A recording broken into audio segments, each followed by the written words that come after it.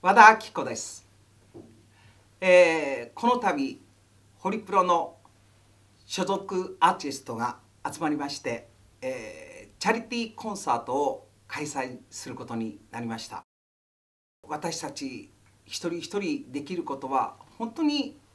小さなことですけれども